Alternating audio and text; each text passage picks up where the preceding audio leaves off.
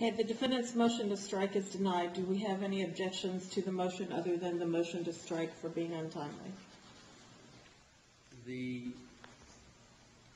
defense does object, uh, Your Honor, but, and I have for the Court's consideration, and um, I believe uh, Mr. Stone pulled the same case. It's Creech versus Ryan, 972 Southern 2nd, 1021, uh, Third District, 2008. I'll be the copy Court. Thank you. And basically, Your Honor, what Creech says is that first, in order for there to be a modification of bond, there has to be good cause.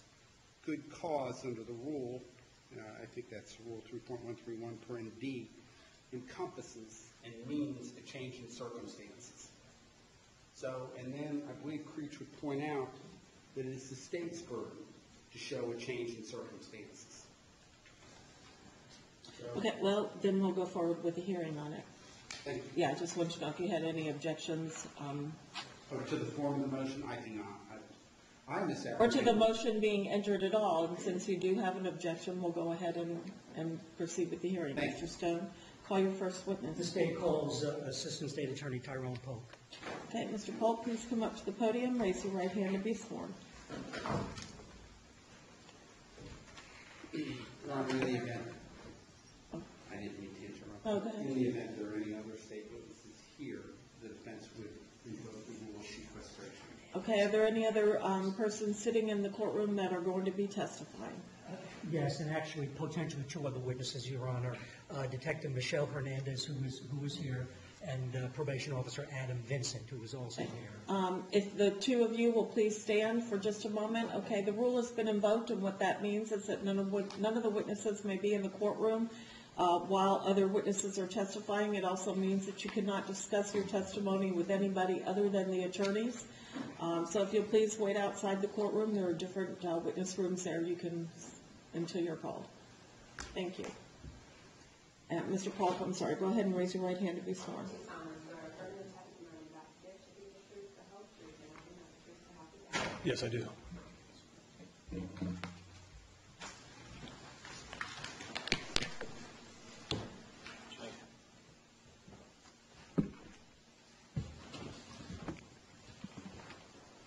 Please. Thank you. What's your name, please? Uh, Tyrone Polk. Uh, Mr. Polk, for the record, would you spell your first and last name?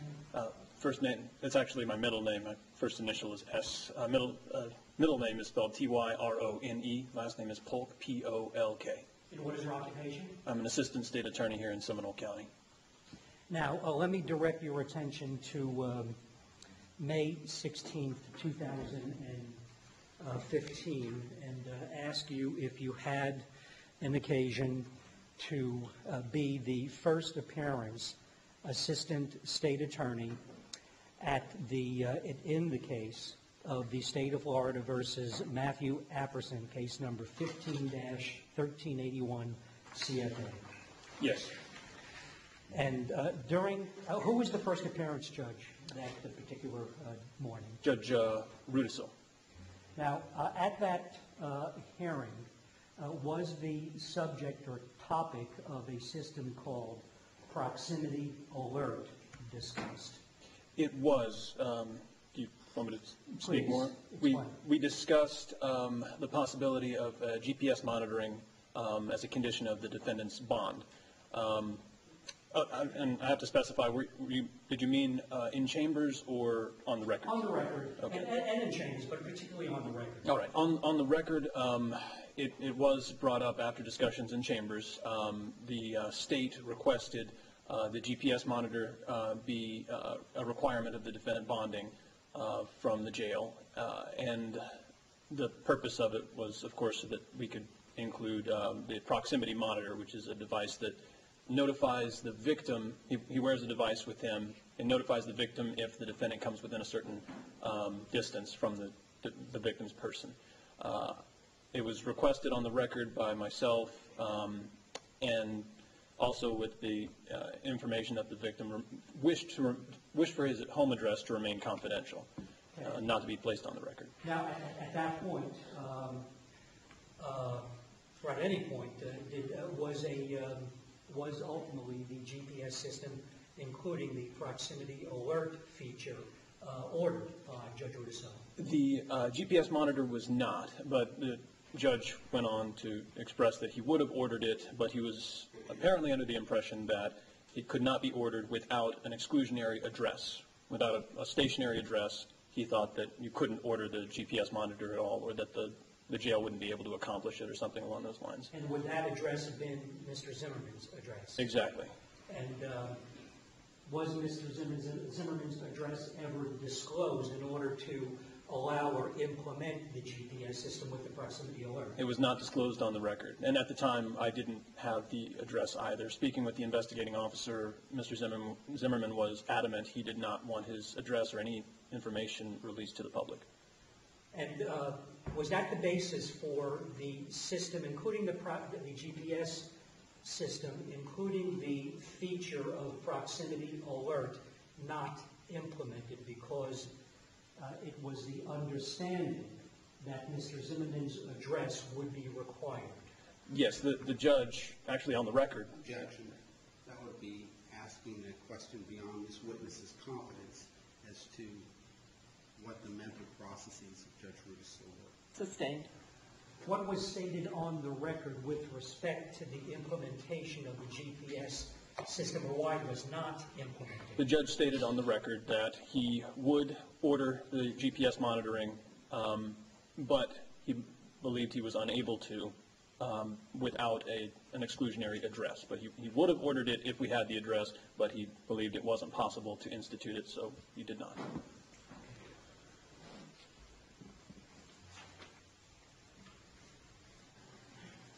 And that would include the, the proximity alert system? Right. Without the GPS monitor, the proximity system won't work because it's a device that it activates when the GPS unit comes close to it. Okay, I have nothing further on Ross?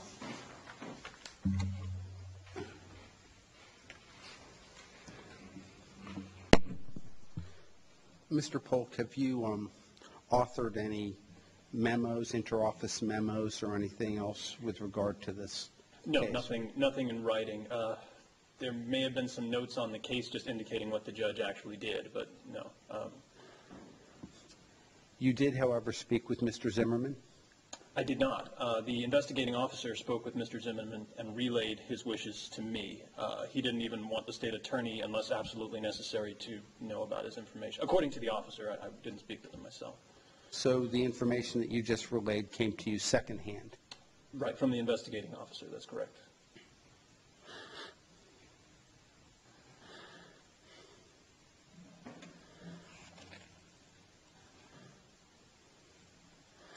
You've had conversations with Mr. Stone about your testimony here? Uh, I spoke with him this morning. He actually came to my office and spoke with me about the, the issue, yes.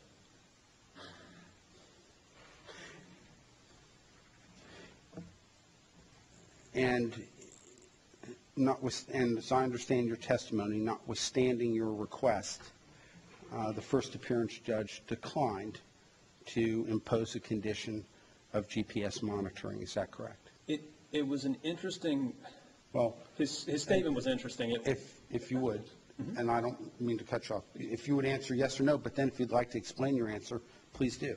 Well, he did not institute the GPS monitor, but his statements indicated that he would have, but for what he believed to be the requirement that we have an address.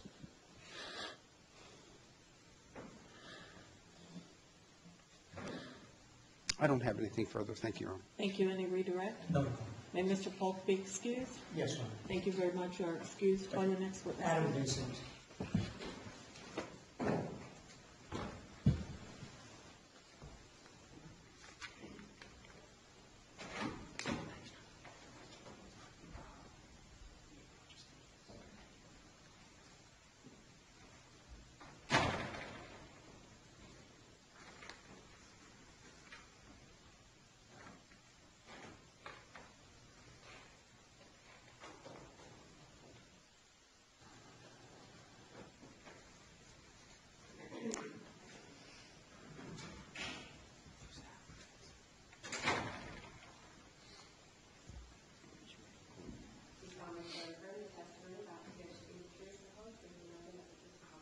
I do. Thank you.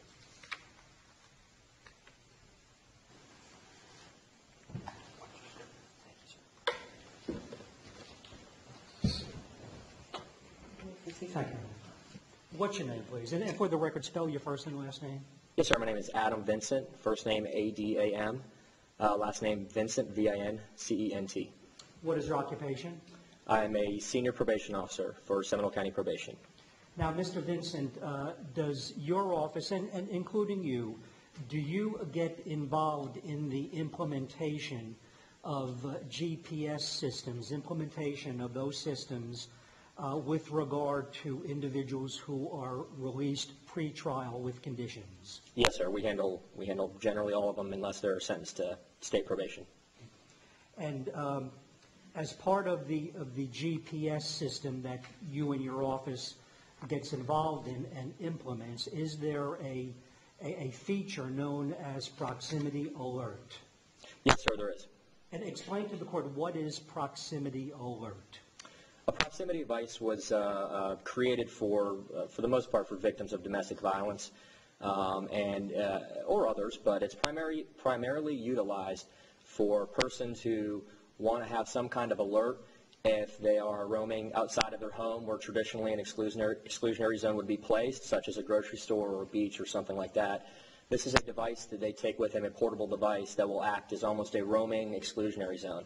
So if they were to make contact with an unwanted person away from their residence, they would get some kind of no- notification, and our sheriff's office would also get notification that the two parties have come in proximity of each other. And the two parties being one, a named victim and the other, the defendant? For the most part, yes, sir. Okay. Now, in order for this uh, proximity alert feature to be implemented, is it necessary that the named victim disclose his or her address? No, sir, it's not. I have nothing further. Thank you. Cross? I have no questions, thank you, Thank you very much. May Mr. Vincent be excused? Yes, Your Honor. Thank you, sir. You are excused. Call your next witness, I have please. nothing further. Defense have any witnesses? The defense does not, Your Honor. All right, thank you. Let me hear argument. Well, Your Honor, it's the state's motion. May I go first? please? Yes, you do. Um, The, uh, the case law, including one of the cases that uh, um, both myself and Mr. Lefay cited to the court, and uh, specifically, um, uh, that's uh, Creech versus uh, Ryan. Creech is E C-R-E-E-C-H, located at 972 Southern Second, page 1021, a third DCA case, 2008. And there's another case that I'd like to uh, present to the court. Uh, That's uh, called Santos versus Garrison, located at 691 Southern Second, 1172, fourth DCA case, 1997. Uh, May I approach, Your Honor?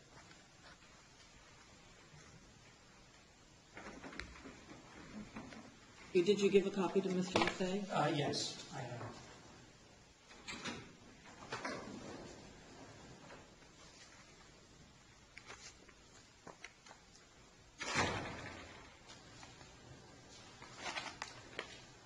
If I can um,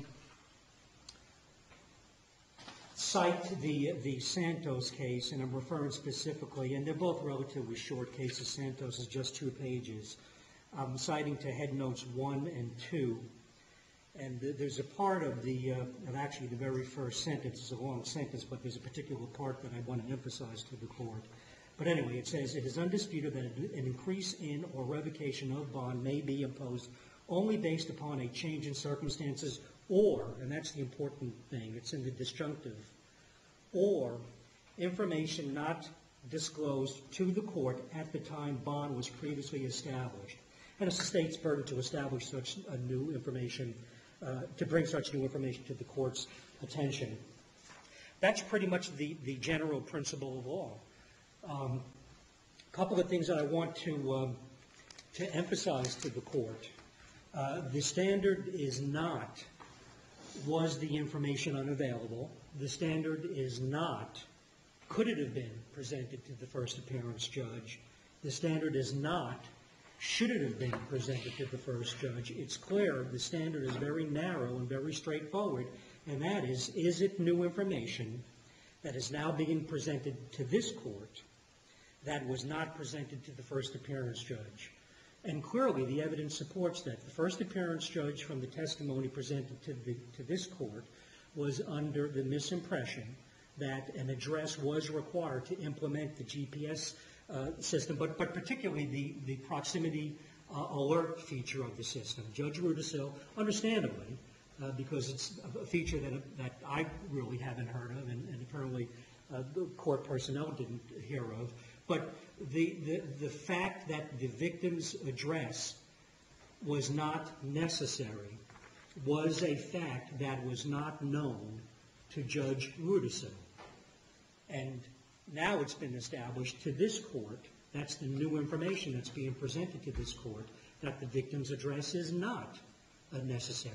So based upon that, uh, based upon uh, not so much the change of circumstances, although I would certainly argue that this could be classified as a change of circumstances, but specifically based upon information, and once again I'm referring to Santos, information not disclosed to the court at the time the bond was previously established. So based upon that, uh, we'd ask the court to implement that feature. And one of the quick o- observations, Your Honor, and I'll sit down. Uh, What we're asking is, is, is reasonable. Uh, This does not impose any type of restrictions, uh, travel restrictions on Mr. Apperson. He's not required to, to, to to stay away uh, from any particular locations. It's just simply a feature that alerts Mr. Zimmerman uh, to the presence of Mr. Apperson being nearby, and then Mr. Zimmerman would be the one who leaves. So Mr. Apperson doesn't have to leave or go anywhere. It's Mr. Zimmerman that wants to know, so he can leave. So it, it's a reasonable request considering the circumstances, Your Honor. Thank you. Mr. LaFay? Your Honor, I, my argument is, uh, first with regard to change in circumstances. The change in circumstances, circumstances goes to or adheres to the defendant. It doesn't mean, it means that somehow something has, there's been a change that makes Mr. Apperson more of a danger or more of a flight risk. Every case that you have, Creech, Garrison, they all deal with the characteristics or a change in the characteristics or the situation of the defendant. It does, none of them deal with, for example, if, let us, let us put it differently, and, and I know hypotheticals have their limited uses. However, if the proximity alert did not exist, just didn't exist, Judge Rudisill knew it was in the offing, knew it was coming, it just didn't exist. Three days later, he's out, it does exist, here we are. That's not a change in circumstances for Mr. Apperson just because there's a new program.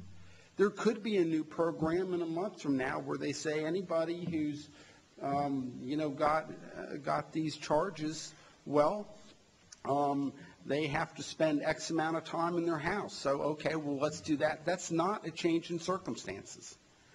It is not a change in circumstances where this man has done one thing. He's uh, scrupulously adhered to the court's orders. He's, there's no evidence that he even knows of Mr. Zimmerman's whereabouts or his address. Um, there's no evidence that Mr. Zimmerman has even requested or wants this. Now, you'd think that that's the least they could bring forward here. Something saying, well, yeah, we, we want it. He wants it. Um, because I think he has to be fitted with something too, although uh, that's not before the court. But um,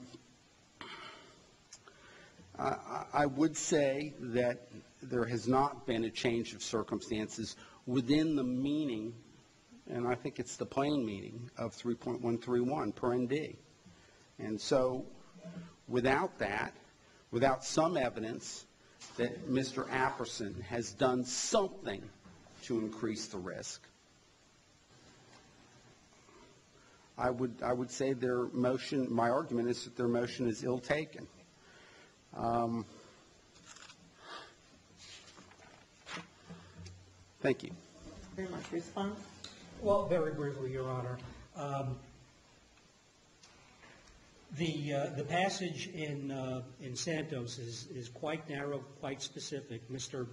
Lefay wants to focus on uh, change in circumstances, which is certainly uh, something that one may interpret with regard to cir- circumstances concerning uh, Mr. Apperson. Uh, But there's an addition to that particular holding, and that addition is, or, and once again I emphasize, is in the disjunctive, or upon information that was not disclosed previously to the court. Uh, It doesn't say information regarding the defendant. Uh, It doesn't say information concerning changes in circumstances regarding the defendant. It says straightforward information that was not previously disclosed. The rule just simply makes reference to good cause, so this is really an interpretation of, of what good cause is. Does Mr. Zimmerman have a, a position as to what he's requesting be Well, I done? can tell the court that he wants it, and uh, if necessary, um, you know, we can put evidence on to that effect. I wasn't expecting that. I don't think it's required that we present that, but I can, as an Well, it officer of the isn't court- required, I was just, Mr. Lefay had uh, brought that up, so. Oh, I can represent to the court that he wants it. I would object to that testimony by Mr. Stone, although he won't be the first assistant to take the stand at this hearing. Perhaps I- it's testimonial, and I'm, I'm objecting to it. That's I'm, I'm not hearing. considering it as testimony, you had just at, made that comment, so I was just curious. Thank you, Judge. We would not be making this motion if he didn't, Your Honor. Okay. Um, Rule 3.131D um, does provide for this court as the uh, court that's assigned to preside over the uh, criminal trial in this case, um, that I do have jurisdiction to hear any applications by the defense or the state to modify uh, the bond. Um, Subsection D2 states the state may apply for modification of bail by showing good cause and with at least three hours' notice to the attorney for the defendant. So having jurisdiction, um, the uh, case um, specifically